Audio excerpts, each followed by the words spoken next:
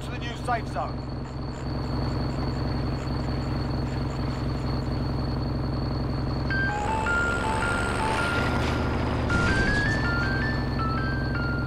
Enemy UAV overhead.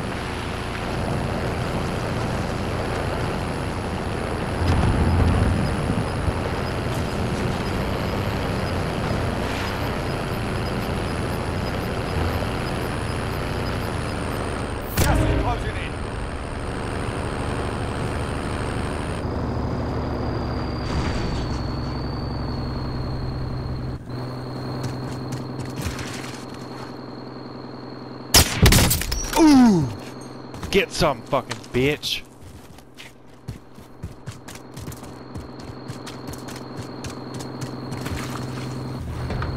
I got